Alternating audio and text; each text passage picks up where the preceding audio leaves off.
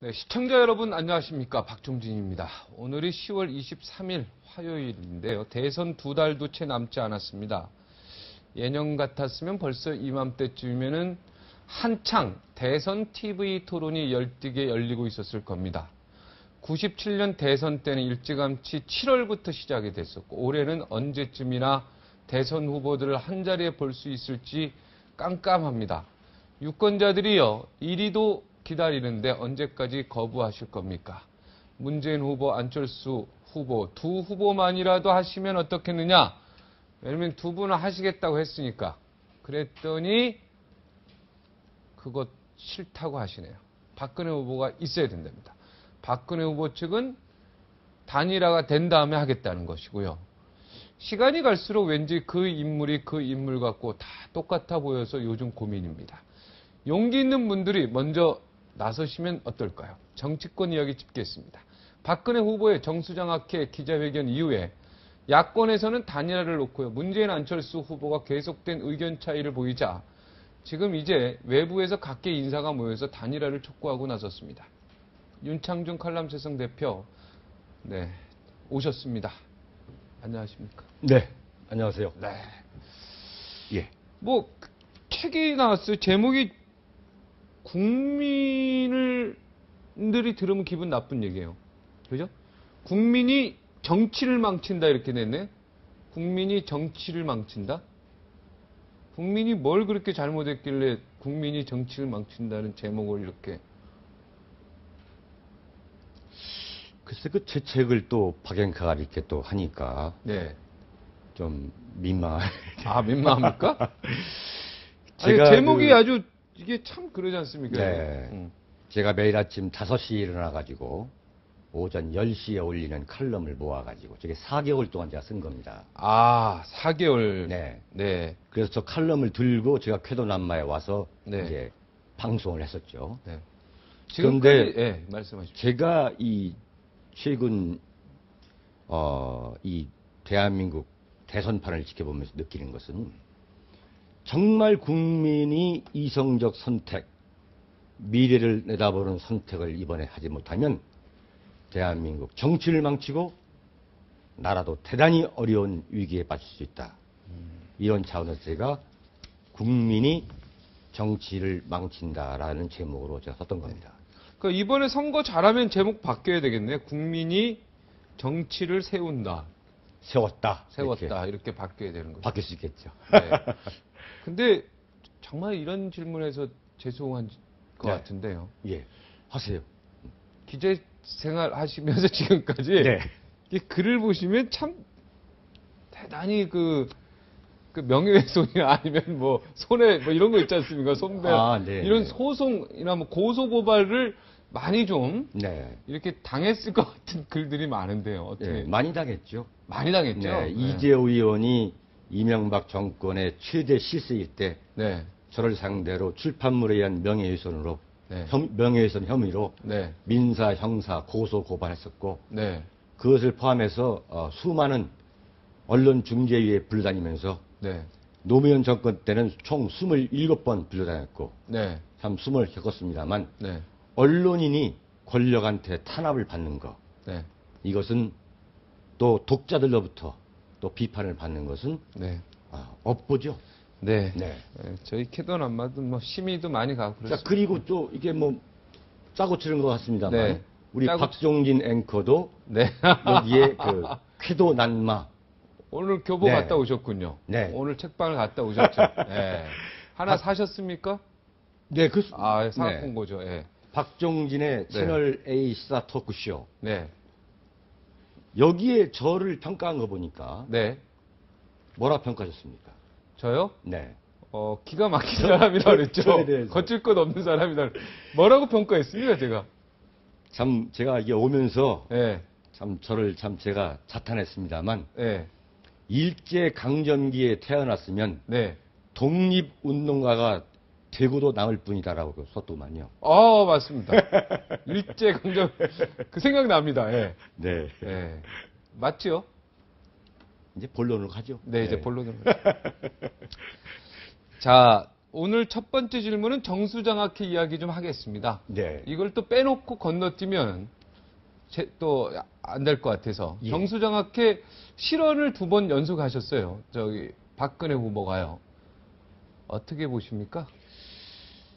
정수장학회가 박정희 대통령이 5.16 군사 구데타를 일으켜서 네. 강압에 의해서 강압에 의한 작물이라고 한번 생각해 칩시다. 네, 그렇게 가정을 하고 강압에 의한 작물이다. 분명히 말하지만 이건 강압에 의한 작물이 아니다라는 것은 그것은 박근혜 후보의 설명 이것은 맞는 겁니다. 그러나 설령 박정희 대통령이 도둑질한 걸로 보자 이거예요. 네. 그러면 이 도둑 아버지가 도둑질한 것을 딸이 책임을 져야 됩니까? 분명히 말씀드린 것은 법률적으로는 정수장학회와 박근혜와는 서류상 완벽하게 법률적으로 관계가 없는 것도 맞는 사실이에요. 그러나 제가 주장하는 것은 뭐냐면 박근혜 후보가 이번 문제를 왜 더 부스럼을 만든 근본 배경은 정치가라면 법률의 문제로 봐서는 안 되는 거예요. 정치가는 사안을 국민 정서의 감각으로 봐야 되는 거예요. 정서의 문제로 봐야 되는 거예요. 바로 이 문제가 뭐냐면 김대중 정권 때의 온노비 사건입니다. 온노비 특검 했는데도 불구하고 법률적으로 그들 아무런 문제가 없는 거예요. 마찬가지로 이런 문, 이 정수학의 문제는 법률의 문제가 아니라 감정의 문제인데 아무리 무관하다 하더라도 정수학회 이사장을 10년이나 지냈고 당신의 아버지가 뺏었다는 의혹이 드는 정수학회에 대해서 당신이 계속 무관하다 법인이기 때문에 나도 말할 수 없고 야당도 말할 수 없다 이렇게 말하는 것이 무책임한 것 아니냐 이러한 감정의 문제이긴인데 불구하고 정확히 아시네요. 네 박근혜 문제가 이야기한 게 정확한 국민의 지금 감정의 그런 거죠. 상태입니다. 그러면 박근혜 후보는 무책임하다고 할 수 있느냐 뭐 이런 네, 얘기죠. 박근혜 후보는 세 가지만 얘기했으면 되는 거예요. 네. 법률적으로 나, 나와 무관한 건 사실이지만 네. 나는 여기에 대해서 도덕적 책임을 통감한다. 그렇죠. 그걸 네. 바란 거죠, 또 국민들이. 따라서 네. 정수장학회 최필립 이사장을 비롯- 비롯해서 현대 이사진이 정말 물러나줬으면 좋겠다. 네. 나의 견해이다. 네. 두 번째 정수장학회 그렇지. 이름을 바꿨으면 좋겠다. 네. 세 번째 네. 이것이 서울시 교육청 네. 산하의 공익법인입니다. 네. 박근혜 후보와 관- 무관한 거예요, 이건. 네. 박근혜 후보의 재산이 아닌 거예요. 네. 그럼에도 불구하고 이것은 국가에 100% 헌납해서 네. 국가가 마음대로 하기를 바란다. 이랬으면 끝나는 거예요. 그렇죠. 괜히 뭐 네. 그건 뭐 판결문 얘기하고 강압적 이런 얘기 할 필요도 없었죠. 그럼에도 불구하고 제가 이 자리에서 한마디 더 붙이고 싶은 내용은 뭐냐면 대한민국 대선판이 대한민국 대통령을 뽑는 이 중차대한 이 선거에서 정수장학회가 대한민국의 운명을 좌우하는 사안입니까? 정수장학회 문제가 대한민국의 운명을 좌우하는 내셔널 어젠다입니까? 대한민국 방송, 대한민국 정치부 기자가 총동원돼 가지고 방송만 틀면 시간대마다 나와가지고 이 문제를 갖고서 정수장학회 역사적 기원부터 알아가지고 이게 무슨 불장학회부터 시작해가지고 스콜필드 박사가 300불을 해가지고 뭐 해외 동포를 해서 이런 것을 알아야, 알아야 대한민국이 발전하는 겁니까? 저는요 이 자리에서 대한민국 정치부 기자, 대한민국 방송 정말 저는 언론인으로서 저는 통탄하는 바예요. 지금 대한민국 대선이 지금 57패가 안 남은 거예요. 오늘로써. 그러면 대한민국 어떻게 우리가 이끌어가야 되느냐? 국가 안보, 국가 외교, 이 동북아에서 어떻게 돼- 해야 되는 거냐?